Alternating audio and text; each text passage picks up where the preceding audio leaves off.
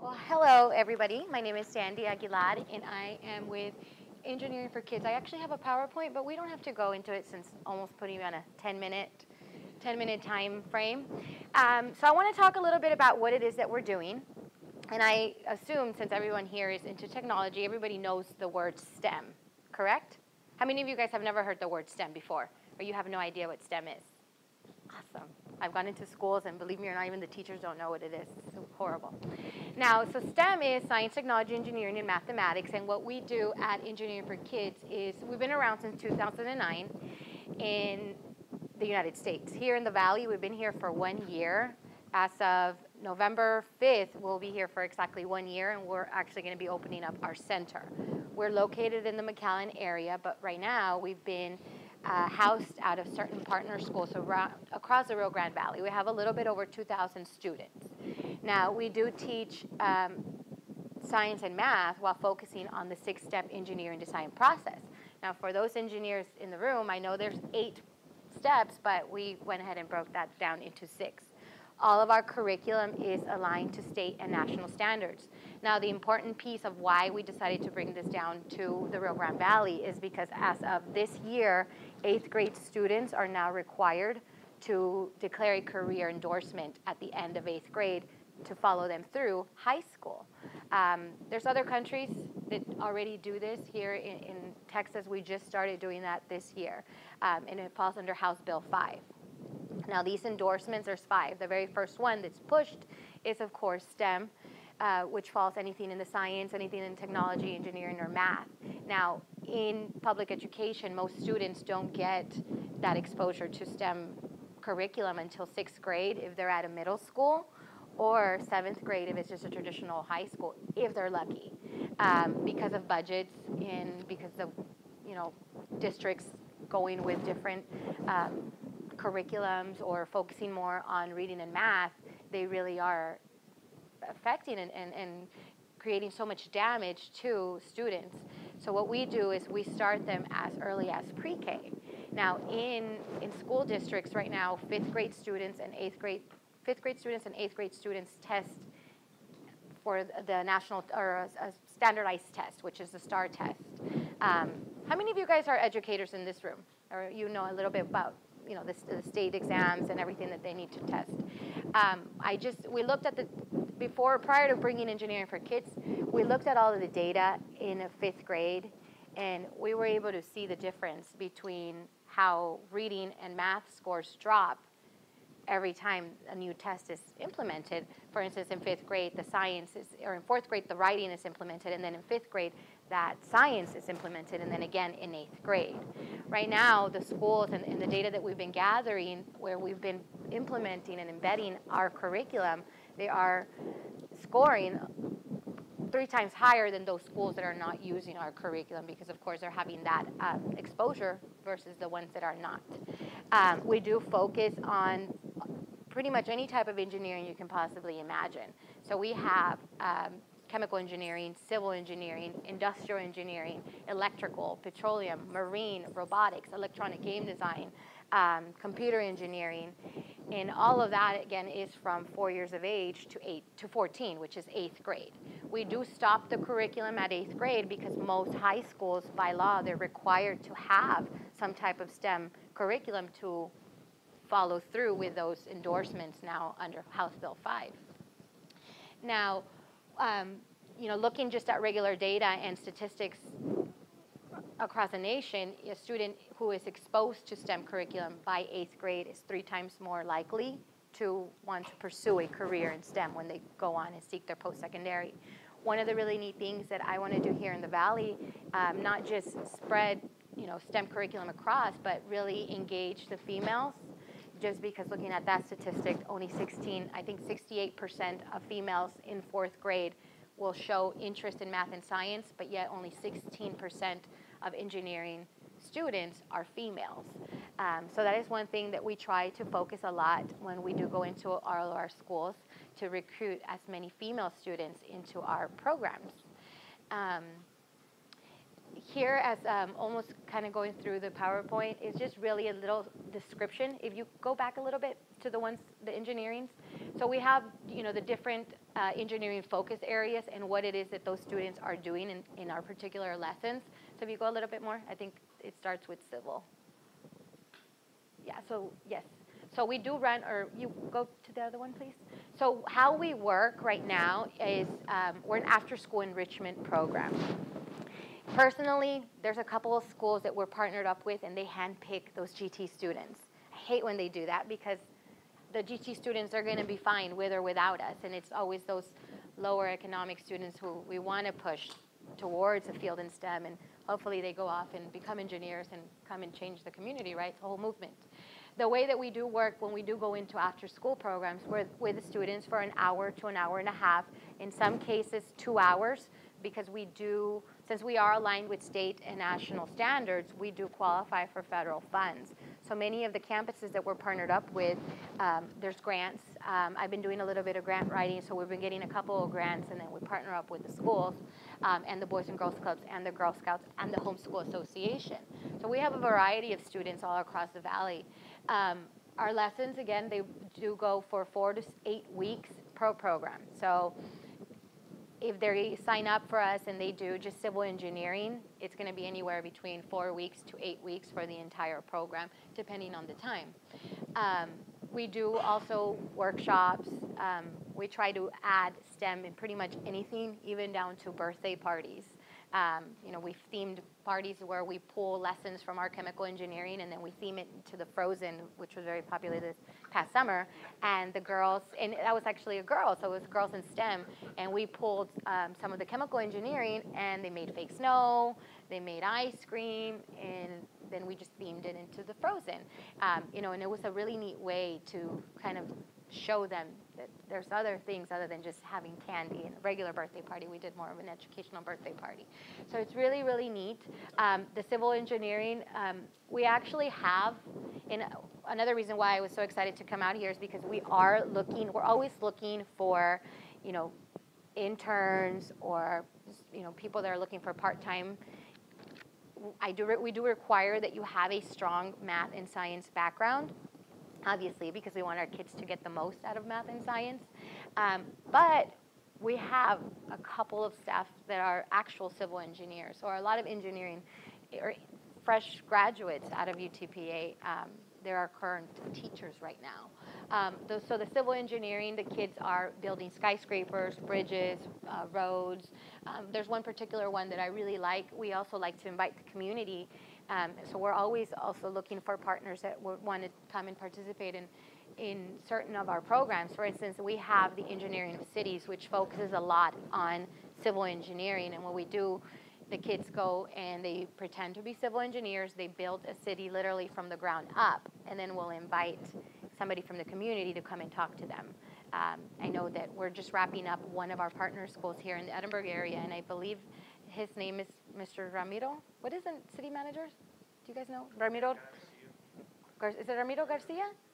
Or I can't remember his name, but he's going to come out and be the judge um, and talk to the kids about what it's like to be, you know, a a, a, real city planner and a day in the life of and all the different uh, components into putting together a city and if they go off and become civil engineers, which is of course what we want. We want to inspire the next generation of engineers because there's such a shortage in the United States. We no longer want to have to outsource all of these jobs. We want to grow our own and then create those jobs. So we're also working really closely with like the McAllen Economic Development Center and the Mission Economic Development, Development Center um, because they keep promising us jobs and we keep promising them to have more engineers. Um, you want to kind of skip through? So we have um, civil engineering, we have aerospace engineering, which is very, very popular right now, especially in the Brownsville area because of SpaceX breaking ground here. Um, mechanical engineering, industrial, marine engineering, electrical, electronic game design.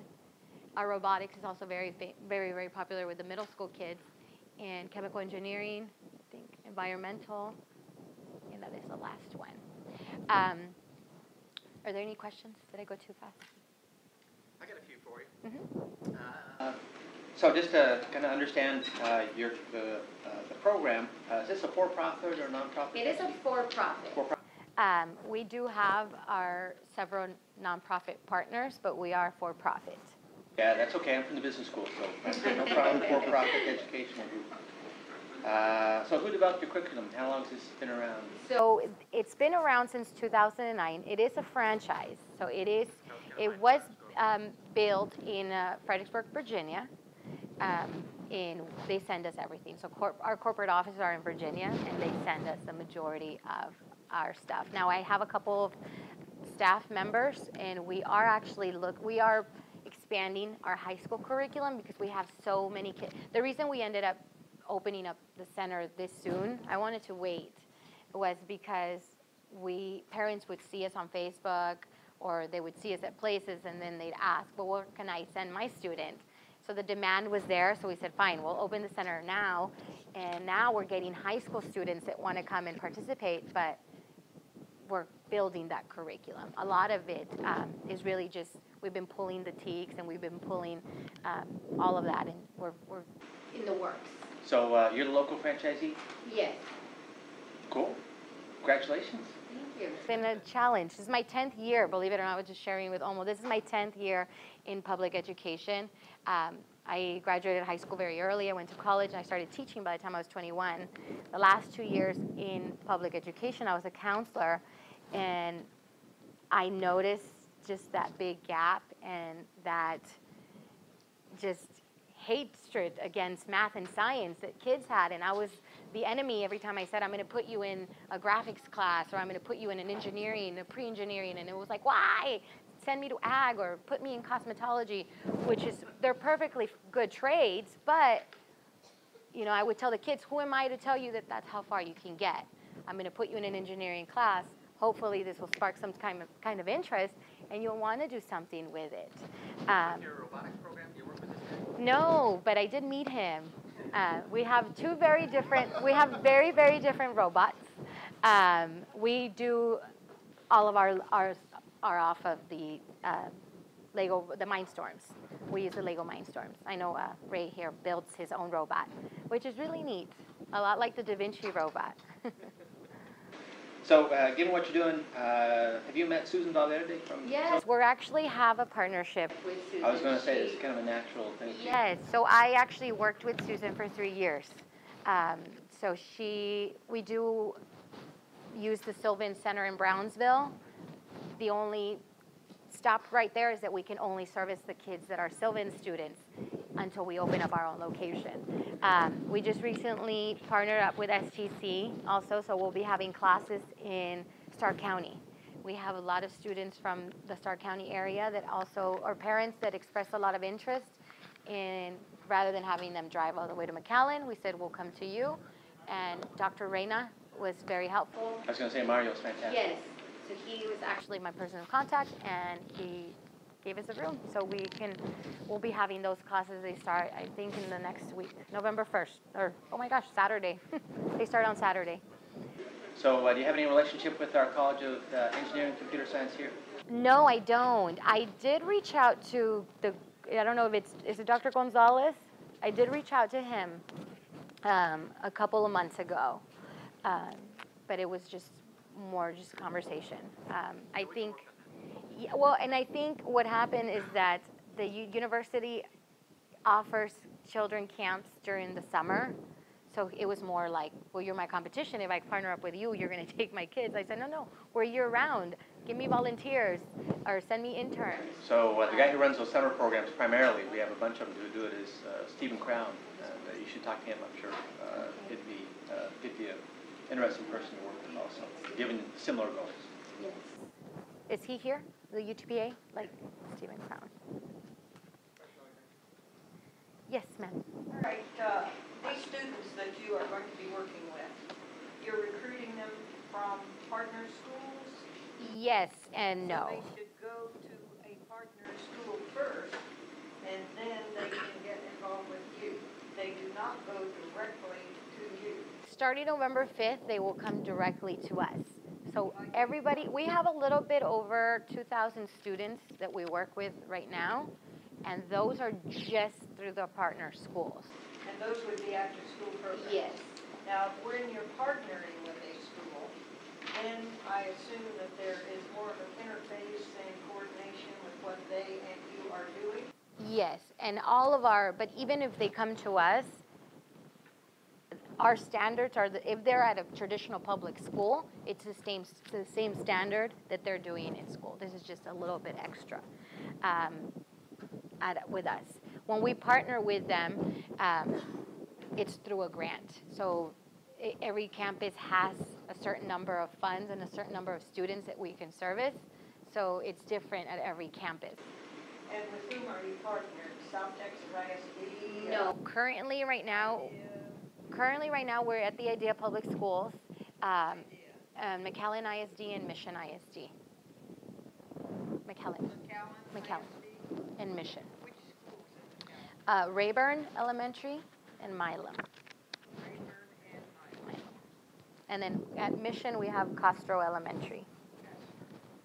All right, so uh, if students are involved, are students at those schools, then they can expect contacted by you, or they have to make the contact? There's a person that the principal has already assigned at every campus, and that's how they come to us.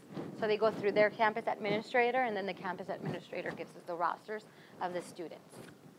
So that's how. And did Palm Fest get you any additional contacts?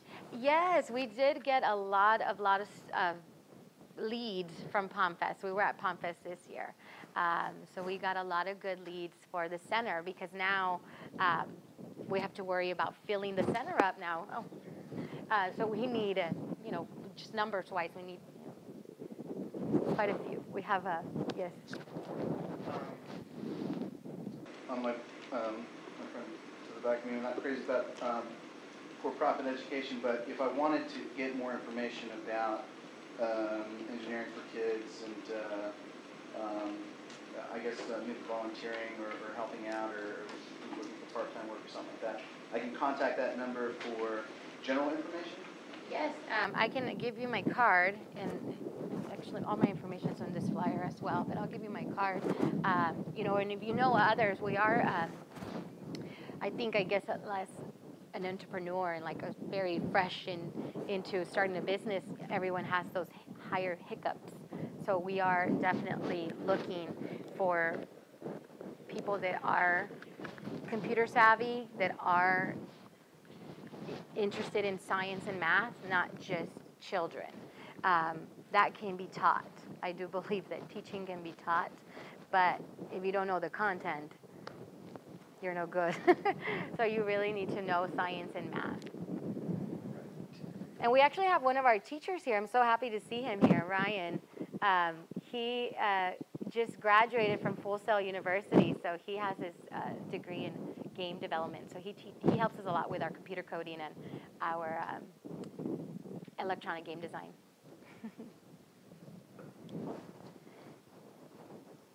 Well, I hate to do it again, but what is your uh, teacher ratio? Uh, well, we have 25, the class size is 25 students per three teachers. So then it just, right now, we're going to actually have, at the center, we're, Talking about three teachers, not a teacher and two aides. You're talking Yeah. about three teachers. all we right. currently don't have any uh, co-teachers, so if any college students are in here looking for part-time work, um, we'll take you. Um, So yeah, we do, um, we don't have any co-teachers currently, but that's something that needs, I'm going to be staffing uh, for co-teachers, just to help assist with materials and stuff like that. The franchising process, and did you have any difficulties getting Um, it's definitely interesting. You know, if anyone is thinking about going that route, it, it, it's a long process. It takes a, at least a good year. You have to submit, you know, credit checks and bank statements and business plans um, before you get approved. You go through this whole, and then you have to fly up to wherever your home hub is, and you do an interview, and then what you have to wait a couple of weeks to see whether or not they're going to accept you to give you that um, the license, really. So it took about a good year, year and a half maybe. What does a six weeks course typically cost? Uh, the, well, it varies. So they're anywhere between, for the entire six-week program, for two hours once a week, it's between 125 and $300. Um, so I think if you break it up, it's like, be as low as, you know, a couple, 20 bucks, $20, 13. It depends on the school. Oh, yes. Uh, Are there any metrics now uh, for specifically these types of programs for outcomes all the way through uh, higher education? Or is it still too early to have that kind of data about? Mine, from my, my, or just in general? In general, there is. Um, You know, you can pretty much, you know, kind of follow everything and, and grab all sorts of data, but there is, um, What's the, what's the, gen- what are maybe some general trends?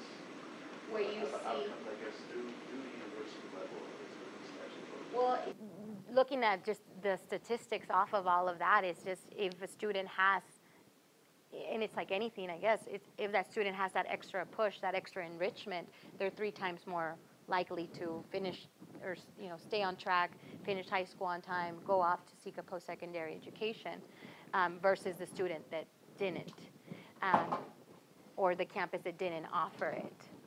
Um, and you, it's just kind of, you know, I just had this discussion not too long ago with a professor, and he, we were looking through data, and you can see the gap every, every year that a new test is implemented, and it goes back, you know, in third, in third grade, in, or in elementary, teachers are self-contained, so they have to teach every single subject. So like in fourth grade, or in third grade, where writing isn't taught, they focus just on teaching longer hours of reading and math, but then they feel it. It's like that tax you didn't pay. They feel it in fourth grade when the writing scores come in and they're really low, because then they try to kind of cramp everything in there. And it happens also in fifth grade with science, because they focused fourth grade, now they added writing, reading, and math, and they didn't really teach any science. And then science, fifth grade comes along, kids test, and they bomb the test because they were never exposed to science in kinder, first, second, or third. Yes. If I have a kid in one of those schools that you just mentioned, how do I get them in the after-class program? And is there a cost for them? Uh, which campus? Well, let's say you mentioned uh, I think. Those, there is a, there is a fee. Um, the contact person is the, the assistant principal or the president of the PTA. Um, at the Idea, Idea schools are the only, is the only district right now where the parent does not pay any fee. Um, and the Horizon Montessori schools. Um, they have grants because they did apply early on and they got federal funds. The, they don't, the parent doesn't pay. There is actually, I take that back. There's one idea campus that the parent, the way that they did it is they feel the parent will be more invested. Some of their money came in, so they pay half and half. The parent pays half the program and the school pays the other half. Um, and that was just more, just the parents came up with that one.